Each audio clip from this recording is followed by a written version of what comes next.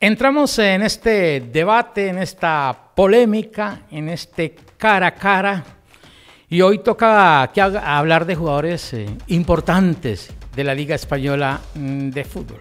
Pero para este debate me acompaña en el día de hoy don Diego Mengual. ¿Qué tal, Diego? Bienvenido a este debate de lo que pueda pasar un antes y un después de dos jugadores muy importantes de la Liga Española de Fútbol. Muy buenas tardes, Pedro. Encantado de compartir micrófonos contigo para hablar de estos dos jugadores que ya vamos a conocer sus nombres, pero que han marcado una época en el fútbol español en los últimos tiempos. En los últimos tiempos se hablaba de Ramos, el hombre de casa del Real Madrid. Pedía um, que el señor Florentino Pérez le renovara por dos años. Nunca se llegó a un acuerdo.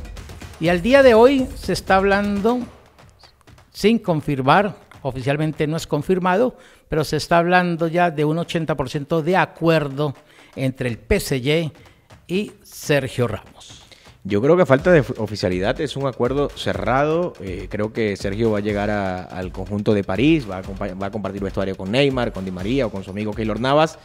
Eh, y creo que es una buena noticia para el Central Camero. Al finalmente consiguió esos dos años que quería, que no se lo pudo dar Florentino Pérez. Y yo creo que es una buena noticia para, para el. Veremos si será el capitán del Paris Saint Germain. Dos cosas que me llaman la atención. Primero, eh, recuerdo que en días pasados, don Florentino Pérez, amo y señor del equipo blanco, decía que había estado medio día rogándole a Zinedine Zidane para que se quedara como técnico del blanco. Luego tuvo una comida con el señor Ramos en Valdebebas, donde prácticamente quedó finiquitado que Ramos se quedaría por una temporada y una adicional depende de su rendimiento. Siete horas después, todo se daña y Ramos empieza a tener contactos con equipos como el PSG, como el mismo Manchester, igualmente con el equipo del Sevilla. ¿Quién falló aquí? Ramos, su representante, o eh, el señor Florentino Pérez? Yo creo que el gran culpable de esta situación fue Sergio Ramos. Yo creo que, y bueno, Florentino Pérez no es amo y señor del Real Madrid. Al final el Real Madrid es un equipo de sus socios y Florentino Pérez Pero el que manda, el lo que, manda hace es gestionar eh, el, club, ¿no? A ver, yo creo que Sergio Ramos se equivocó muchísimo. Creo que él merecía no dos años, merecía hasta tres, inclusive por, por los servicios dados al Real Madrid. Pero al final, cuando él dice la frase eh, célebre ya, ¿no? en el mundo del fútbol, planifica sin mí, que le dice a Florentino Pérez, eso es abrir la puerta e irse. Algo interesante. Eh, ¿Por qué los jugadores del Madrid, incluido Ramos, salen tan mal de la institución? Es que, no es el primero. Yo creo que eso es un mito. Yo creo que eso es un mito. Yo creo que el, gran... ¿Mito o una realidad? voy, a, voy a aclarar mi, respuesta. Yo creo que los dos grandes personajes del Real Madrid que han salido muy, muy mal se llaman Fernando Hierro y Vicente del Bosque. Ganando la liga con contrato, pues le abrieron la puerta y se tuvieron que ir. Eh, ya conocemos después el camino de Vicente del Bosque en la selección española. En el caso de Raúl, Raúl no iba a ser titular y él decidió irse. Iker Casillas, después de años de presión, recibiendo pitadas, decide irse también. Cristiano Ronaldo dijo, oye, me voy, quiero un aumento de salario. Y el mismo Cristiano fue el que no quiso un evento de salida. Además, ¿qué acto querían más con Sergio Ramos? Porque al final recordemos que él ni siquiera anunció que se iba, porque tardó hasta junio para, anunciar que aceptaba la posible renovación. No había público en los estadios, eh, la pandemia ha afectado mucho. Yo creo que Sergio Ramos tuvo una despedida a la altura de lo que la situación permitía. Hombre, no estoy de acuerdo contigo, Diego, perdóname, pero creo que Diego, eh, perdón, Ramos, se merecía otra salida del equipo blanco. Le entregó, no, pero por eso te digo que la pandemia permitía. Es decir, a lo sí, pero es que no nos vamos a la pandemia, porque en ese momento, en la, en, la, en la salida de Sergio Ramos, no había pandemia. O bueno, había pandemia, pero había opciones para que al señor eh, Sergio Ramos le hicieran otra clase de despedida. la junta directiva del equipo blanco encabezada por el señor Florentino Pérez. Por ejemplo, con público. Pero fíjate que incluso la rueda de prensa la tuvimos que, hacer vía telemática. Sí, pero, pero si no estoy de acuerdo de esa manera. Bueno, no nos vamos a quedar hablando de Sergio Ramos. Lo importante es eh, que su primera novia es el PSG que le va a firmar un contrato por dos. Yo creo que ya están comprometidos. Por, por dos años. Falta alguna firma para que se haga oficial. La dejo en el tintero. ¿por qué sí dos años con el PSG y por qué no dos años con el Madrid? Por la misma razón que el PSG ficha a Donnarumma, ficha a eh, sigue eh, llenando su, su, su, banquillo o su nómina de grandes jugadores, porque el dinero que viene de a París no viene de, Francia, viene de otras partes. Y yo creo que en la competencia que tiene el conjunto parisino con otros grandes clubes de Europa, pues eh, se nota y, parece que al equipo de, de Pochettino no le afecta la pandemia.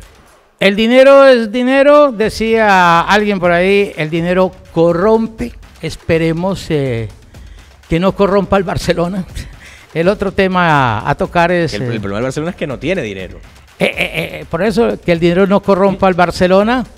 recordemos que Messi a partir del primero de julio, libre completamente, pero ese libre entre comillas, ¿no? Bueno, exactamente, desde el día de ayer, Leo Messi no, no forma parte del, Barcelona.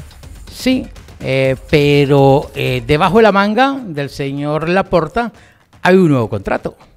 Sí, un contrato que ya lo conoce Leo Messi. El problema yo creo que no está en lo que va a cobrar Leo Messi, o que sí está, mejor dicho, porque son unas cantidades exorbitantes desde mi punto de vista, sobre todo en época de pandemia, repito, pero eh, el problema está en el fair play financiero y en lo que es el ajuste salarial que necesita el Fútbol Club Barcelona. 150 mil euros por temporada. millones de euros. perdón, 175 millones de euros, por, 170 millones de euros por temporada de, los cuales eh, Leo Messi se lleva por temporada 75 millones netos.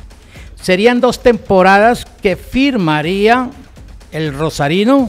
En total serían 300 millones de euros que se llevaría netos en dos temporadas 150 eh, millones. Hasta ahí queda claro. El tema es que el tercer año es por imagen Sí, por representación de, mm, Leo Messi con, el, Club Barcelona. Quedaría 100 millones que se pagarían en tres años. El Barcelona, eh, con el problema económico que tiene en este momento Diego, para afrontar eh, en tres años 100 millones de euros. Bueno, eso es lo que tiene el amor. Eh, el amor eh, sin dinero no dura y, eso es lo que demuestra Leo Messi con el Barcelona. Eh, Sergio Ramos decía que jugaría gratis en el Real Madrid y tampoco se dio el caso. Pero de rebaja nada, ¿no? No, de rebaja nada. tanto es así, Pedro, que Kyrie Irving y Kevin Durant, dos jugadores, grandes jugadores de la NBA, se quedaron sorprendidos del salario de Leo Messi en lo que era el contrato que acaba de vencer. Entonces, si los jugadores de la NBA, que son dos figuras, dos estrellas, se sorprenden, ¿qué queda, qué queda para el resto? El tema es, Leo Messi va a rendir en estos eh, dos años a alto nivel de lo que espera la afición y de, lo que espera el señor Laporta. Yo creo que va a rendir siempre. Leo Messi rinde siempre. Eh, el problema es que no es el Leo Messi, obviamente, de hace 10 años. Pero Leo Messi siempre va a rendir. Además, es la figura del, del Barcelona. Y yo creo que el Barça hace muy bien quedándose Leo Messi, independientemente de que, que me parece una cantidad, repito, exorbitante, porque el Barça vale mucho menos sin Leo Messi que con Leo Messi. Los contratos que van a llegar al Barcelona con el astro argentino son muy distintos que si En la parte publicitaria hablamos. Exactamente. La parte publicitaria. Pues nada, don Diego, hemos hablado de 12 jugadores importantes. Ramos por confirmar con el PSG y Leo Messi por confirmar después que termine la Copa América el nuevo contrato, entre comillas, el nuevo contrato porque va a ganar prácticamente lo mismo. La pregunta del millón, ¿quién va a ser más beneficiado, Messi o el Barça? Yo creo que eso es un matrimonio en el que nadie pierde. Es un matrimonio en el que nadie pierde. Creo que gana más el Barça a día de hoy reconstruir el equipo con tu mejor jugador, con el mejor jugador de la historia del Barcelona. Pues nada, Diego, muchas gracias por estar en este debate, en este cara a cara, en esta polémica de jugadores importantes de la Liga Española mm, de Fútbol. Yo me voy a una pausa comercial, regresamos con el equipo de primera.